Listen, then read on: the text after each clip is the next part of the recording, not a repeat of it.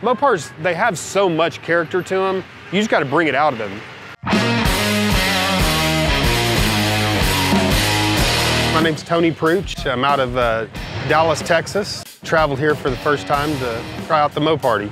It's a 1971 GTX. We've basically taken an, an older version of a car and, and modernized it. We put a, a, Viper V10 in there and uh, really kind of, you know, just brought it back to, to be current for today's market. You take a third generation engine like that, stretch the front end about two inches, move the radiator forward another two inches, and you got some just one heck of a beast. You know, the goal was is to try to keep everything as, as, as original as it could be, but still be able to keep, you know, the new modern technology. And I think that the, the outcome of this has just been phenomenal. It's not loud and bolsterous, it's just kind of mean and clean.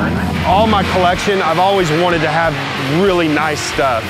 And it doesn't mean I'm gonna start with nice stuff, but at the end product, I really want it to be something special and something unique. In a month's time, I'll probably put three, 400 miles on it. Spend a lot of time. I just want people to see what can be done with these cars. And to take something that's not necessarily one of the most favorite Mopars out there, but to see it in this condition really shows people what they can do with their car. And so I, I want to show that to people. That's, that's why I drove eight hours to get here.